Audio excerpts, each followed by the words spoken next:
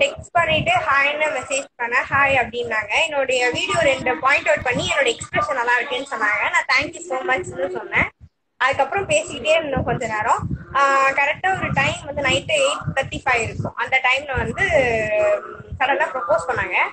நான் வந்து எனக்கும் தோண்டி இருந்தது அவங்க மேல. சரி நானும் ஓகே சடனாக அக்செப்ட் பண்ணிட்டேன். அக்செப்ட் பண்ணிட்ட பிறகு நான் ஒரு ரெண்டு நாள் கழிச்சு அவங்க வீட்டில் ஃபர்ஸ்ட் சொல்லிட்டாச்சு. அவங்க தான் போய் ஃபர்ஸ்ட் அவங்க வீட்டில் சொன்னாங்க. அதுக்கப்புறம் இங்கே அவங்க உங்க டேடி கிட்ட பேசினேன் ஐ மீன் எங்க மாமா கிட்ட பேசினேன். அவங்க போன் எடுத்தோடனே ஹலோன்னாங்க நான் சும்மா லாக் போடுறதுக்காக ரெண்டு வார்த்தை சொன்னேன். ஹலோ மாமான்னு கூப்பிட்டேன். உடனே அவங்க வந்து லாக் ஆயிட்டாங்க. நான் அதுக்கப்புறம் கொஞ்ச பேசிட்டே இருந்தேன். அதுக்கப்புறம் அவங்க ஃபேமிலிக்கு எல்லாருக்கும் என்ன பிடிச்சு போயிடுச்சு.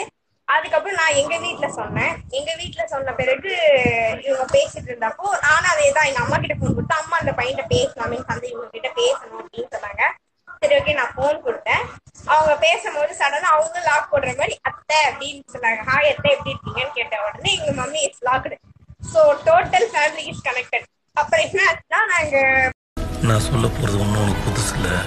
உடனையோட ஒரு தட்டு தட்டி பொச்ச மூடி ஸ்கூலுக்கு போடா.